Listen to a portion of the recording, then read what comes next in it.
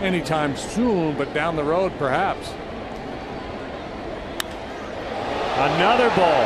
Well struck deep center this time. The leap, the catch by Sweeney. May have robbed Adams of a home run, at least extra bases. What a play.